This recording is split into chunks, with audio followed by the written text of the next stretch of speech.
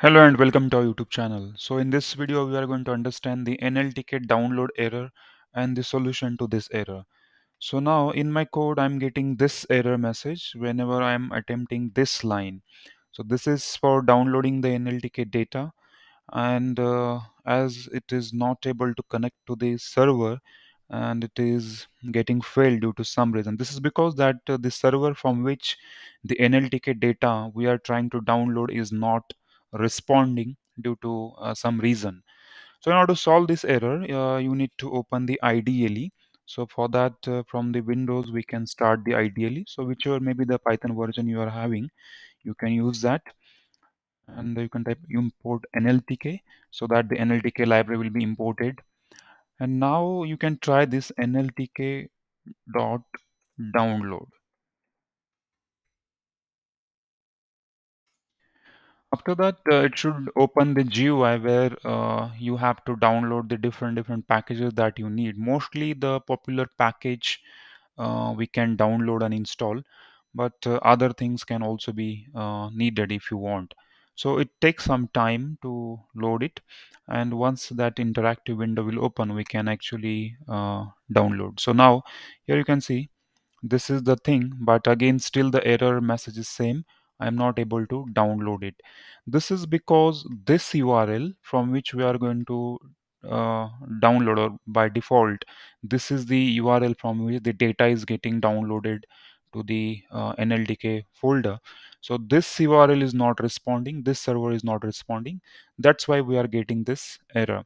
And the same is the thing here. This is the server that from which it is trying to find out the packages and trying to install it but it is due to some reason it is not responding. So uh, the solution is we are also having another url like this.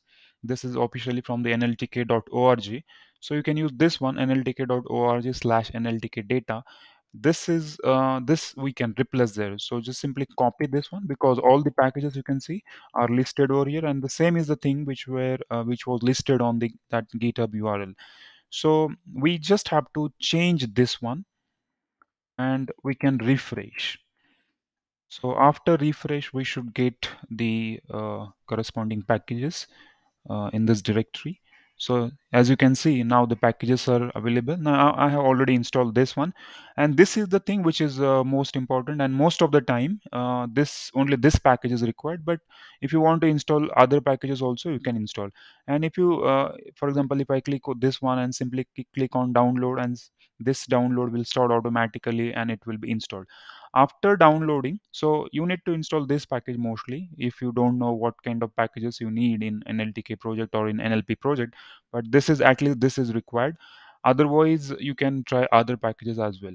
After uh, successfully downloading and installing all this stuff you can find this folder in the roaming. For example in your roaming folder in your uh, c drive you can check in. This is on windows 10 you will get this nltk underscore data and you will find these kind of folders under each and every folder. There are some nltk packages and models are there.